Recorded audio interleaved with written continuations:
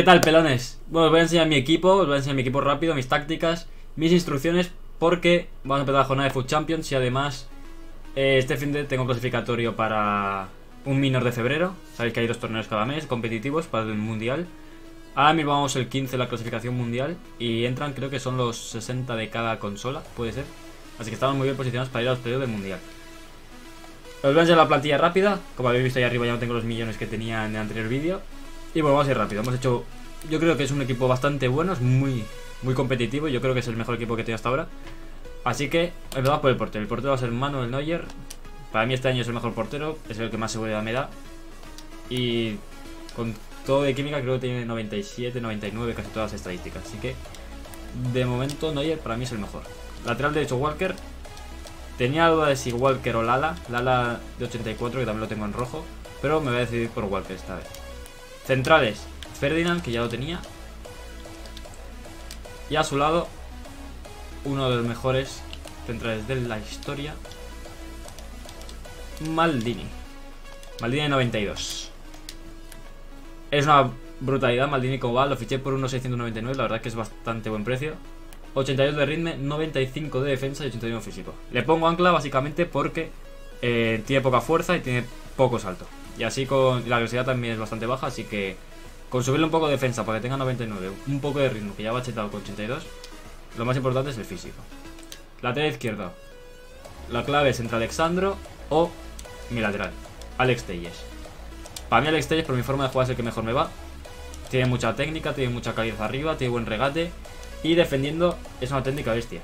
Si comparáis sus stats con las de Alexandro, Alex, Alex Telles le ganan todo. Tiene 84 de salto, 95 de resistencia, los robos 86, marcaje 85, entras 83 y es muy rápido. Le pongo un ancla para que le suba un poco también la fuerza y ya está, y va como un tiro.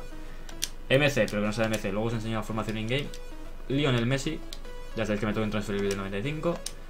Poco que decir, los que me conocéis ya sabéis que Messi lleva conmigo desde el principio del juego. Lleva 650 partidos, una brutalidad. Aquí tampoco cambiamos, seguimos con Mbappé, que también lo tengo desde el principio del juego. Y por izquierda, Neymar, que vuelve al equipo después de dos semanas que sabéis que me hice un equipo así flojito. Vuelve Neymar con su, para mí, el mejor jugador no icono del juego. Eh, MC2, que no va a ser MC2. El primero va a ser Balak, que vuelve tras hacer una jugada maestra. Lo vendí por unos 650. Y lo he fichado por unos 359 esta vez. Salió el Prime. Yo sabía, tenía sospechas de que podía salir ese icono y no podía ser Balak por las medias que dijeron. Y me salió bien. Vendí a Balak, hemos sacado 400k más o menos. El otro Meceo. Patrick Vieira de 88. Se viene uno de los mejores jugadores del juego, uno de los jugadores más importantes en los equipos competitivos, porque lo tiene todo. Hoy ha salido con Dogbia, con Dogbia yo creo que le superará si Valencia va pasando de rondas, y además bastante más barato que Vieira porque vale 3 millones Vieira. Pero no me la quiero jugar, no quiero fichar con Dogbia porque mañana hay clasificatorio y prefiero ir a lo fiable, que Vieira es impresionante. Y arriba va a ser Cristiano Ronaldo. Cristiano Ronaldo ya sabéis, Cristiano te mete muchos goles, te da todo de cabeza los corners. Ya conocéis a Cristiano. Le pongo motor básicamente para que sea un poco más ágil. Tiene 87 agilidad, pero creo que se mueva más. Equilibrio no tiene nada, también le subimos un poco. Y poco más. Tiro tiene bastante, no, hace falta subirle. Y pase sí, porque me gusta, cuando se paso al delantero, me gusta hacer un pase al hueco a los metros de bandas. Y cuando tiene poco pase, pues ese pase no se puede hacer. Revulsivos tengo cuatro revulsivos, tres atacantes y un central. Os explico por qué. Lucas, Martial, Martial y Martínez. No sé, Martínez de MLS, que era gratis y era un chollo. Para las stats que tiene. Vale, y el, y el otro es Marquinhos. Básicamente aquí puedes poner cualquier central. Central que sea bastante rápido. Básicamente es por si llegas a prórroga, y ves que el partido vas empatando, pues puedes meter tres jugadores rapidísimos. Yo suelo cambiar mi 260, suelo cambiar dos. Y si llego a prórroga, suelo meter el tercer atacante. ¿Qué pasa? Que también necesitas un central o un MCD defensivo por si te expulsa, yo que sé, Vieira, Balak, o Maldini o Ferdinand. Pues tener también variantes de defensa. Pero sobre todo tres atacantes yo creo que es muy importante. Lo que os interesa a vosotros, tácticas e instrucciones. Empezamos con las tácticas. Son las tácticas de la 4-2-3-1, ¿vale? Jugamos con un punto más de anchura y bajamos la profundidad, así. El estilo defensivo equilibrada, estilo ofensivo equilibrada. Porque me gusta tener a mi control de juego, no me gusta, por ejemplo, poner balones largos y que los jugadores se vayan para arriba y jugar sí o sí a balones largos. No, me gusta que sea equilibrado y que se juegue un poco a todo. Anchura, sí, aquí sí que lo subo un poco más.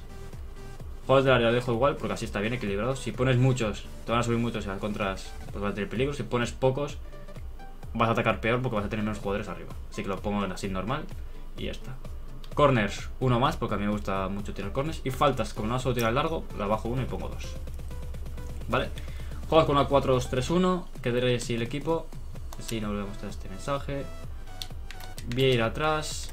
Messi MCO. Mbappé derecha. Y Neymar izquierda y Balak aquí en el MCD.